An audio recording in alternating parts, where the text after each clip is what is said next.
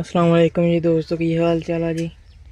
ਤੇ ਦੋਸਤੋ, ਇਹ ਪੱਠੇ ਵੇਚਣੇ ਸੀਗੇ ਤੇ ਦਿਵਾੜਾ ਕੋ ਹੈ ਥਾਂ ਦਾ। ਇੱਥੇ ਕੱਲ ਹੈਰਮ ਫੇਰ ਇਸ ਤੈਨੂੰ ਵਲੋਗ ਦਿਖਾਇਆ ਸੀ। ਤੇ ਇੱਥੇ ਹੁਣ ਕਲਟੀ ਫੇਰਨ ਲੱਗੇ ਆ। ਇਹ ਦੇਖੋ ਜੀ, ਕਿਹੜਾ ਵਾਲੀ ਕਲਟੀ ਆ, ਇਹਨੇ 640 ਦੇ ਪਿੱਛੇ ਜੀ। ਤੇ ਮੈਂ ਕਿਹਾ ਚਲੋ ਦੋਸਤਾਂ ਨੇ ਵੀਡੀਓ ਸ਼ੇਅਰ ਕਰ ਦਈਏ। ਤੇ ਕੀ ਪਤਾ ਕੈਮਰੇ ਵਾਲਾ ਬੰਦਾ ਨਾ ਲੱਭਿਆ ਤਾਂ ਫਿਰ ਐਵੇਂ ਤੁਹਾਨੂੰ ਦੱਸ ਦੱਸ ਦਿਆਂਗੇ ਜੀ।